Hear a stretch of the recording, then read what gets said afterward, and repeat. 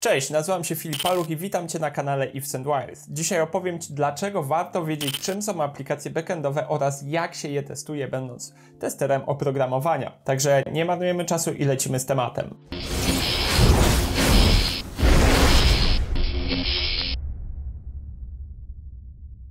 Aplikacja frontendowa to twarz aplikacji. To jest to, z czym pracuje użytkownik końcowy, co widzi użytkownik i ocenia. Natomiast, jak wiesz już, mam nadzieję, z naszego poprzedniego filmiku o aplikacjach backendowych, że aplikacja backendowa to serce aplikacji. Tam dzieją się najważniejsze rzeczy, tam podejmowane są najważniejsze decyzje, tam następuje odczyt i zapis danych, na przykład do bazy danych, czyli jest to bardzo istotna część, która wpływa na jakość korzystania z aplikacji. Dlatego niezmiernie ważne jest, aby umieć również ją testować, a przede wszystkim rozumieć, jak ona działa. Jeżeli zastanowimy się, co jest najważniejszym zadaniem testera w jego pracy, to ja widzę tutaj dwie podstawowe rzeczy. Pierwsza to oczywiście umiejętne znalezienie błędu. Musimy dostrzec, co, w których miejscach aplikacja nie zachowuje się poprawnie i odpowiednio to zauważyć i zgłosić. I właśnie druga część to zgłaszanie tych błędów. Od dokładności tego, jak opiszemy te błędy, co zawrzemy w takim opisie błędów, zależy jak szybko programista będzie w stanie ten błąd znaleźć, otworzyć, a następnie poprawić. I właśnie na podstawie tej drugiej części bardzo często testerzy są oceniani w pracy. To znaczy od tego, od jakości tego opisu, co tam zawrzecie, jak będzie to dobrze opisane i jasno dla programisty, od tego też zależy, jak zespół ocenia waszą pracę. Więc warto się skupić właśnie na tym. Jest to jedno z najważniejszych zadań dla testera. I tutaj właśnie muszę wspomnieć o aplikacjach backendowych, ponieważ jeżeli testujesz tylko i wyłącznie warstwę tą wierzchnią aplikacji, tą twarz aplikacji, czyli ten interfejs użytkownika, to nie dostrzegasz wielu rzeczy, które mogą dziać się pod spodem, które niekoniecznie muszą działać poprawnie, albo nie dostrzegasz, dlaczego aplikacja frontendowa zachowuje się tak, a nie inaczej, dlaczego nie działa w sposób e, poprawny. Dlatego warto wiedzieć i umieć testować aplikacje backendowe, ponieważ znacznie lepiej będziecie w stanie dojść do tego, dlaczego dany błąd występuje, gdzie dany błąd występuje i naprowadzić już programistę. Znacznie lepiej zrozumiecie w ogóle, jak działa ta aplikacja,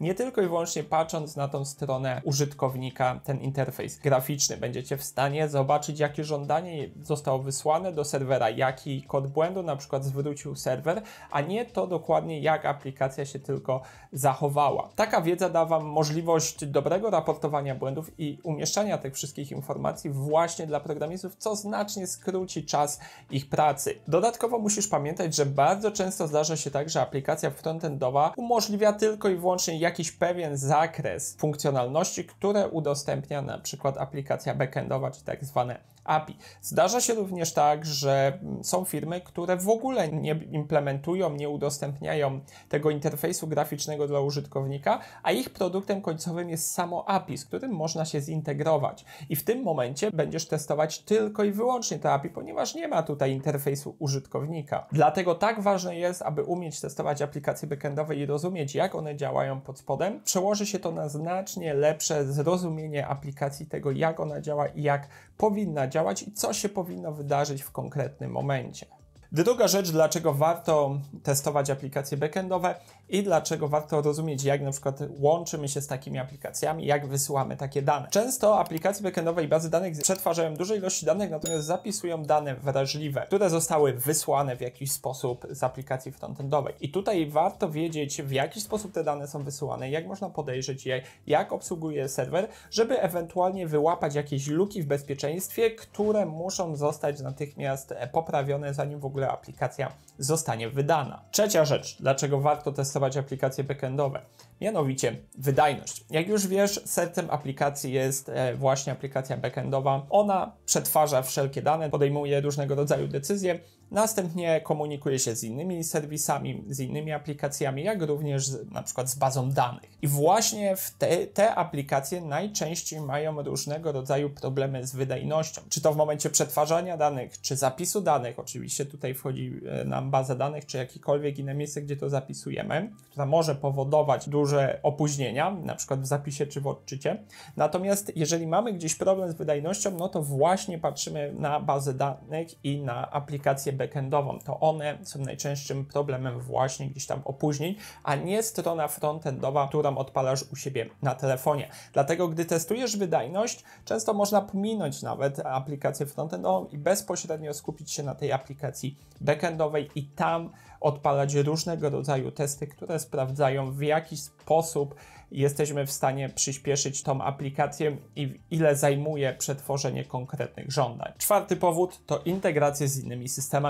Często zdarza się tak, że aplikacje, które piszemy, muszą zintegrować się z jakimś innym oprogramowaniem, którego nie musimy pisać, ponieważ jest gotowe i możemy wykupić licencję na przykład na skorzystanie z ich usług, z ich API. Natomiast musimy to zintegrować z naszą aplikacją. Jakie to mogą być systemy?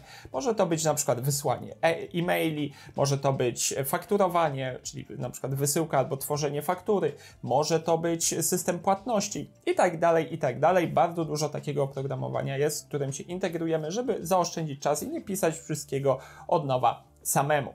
I z punktu widzenia testera, umiejętność przetestowania również takich integracji jest bardzo ważna. Tester musi rozumieć, jak te integracje ze sobą zachodzą i być w stanie sprawdzić, na przykład, czy dana integracja działa poprawnie. Nieraz spotkasz się z tym, że będziesz musiał, będziesz musiała przetestować chociażby to API tej firmy, z którą się e, integrujesz, albo bezpośrednio na ich API wykonać jakieś akcje, które będziesz e, w danej chwili potrzebować. Więc jak widzisz, umiejętność zrozumienia tego, jak ta aplikacja backendowa działa pod spodem z punktu widzenia testera jest bardzo istotna. I ostatni punkt, dlaczego warto uczyć się testowania backendu, to przede wszystkim wszechstronność. Zawsze warto uczyć się i rozwijać swoje kompetencje, dodawać kolejne technologie, ponieważ to ty tylko i wyłącznie zaplusuje. Znacznie lepiej będziesz rozumiał, czy rozumiała, jak działa dana aplikacja, jak działają różnego rodzaju systemy, z którymi się integrujesz i będziesz w stanie to przetestować, skorzystać z tego, a nie tylko i wyłącznie bazować na tej części frontendowej, czyli klikaniu manualnym. Oczywiście co za tym idzie, to również wyższe wynagrodzenia, ponieważ Twoje umiejętności są najważniejsze, a w branży IT nic nie liczy się tak jak umiejętności. Żadne certyfikaty, żadne dyplomy, żadne szkoły nie dadzą Ci takiej możliwości zarobku, jak po prostu umiejętności.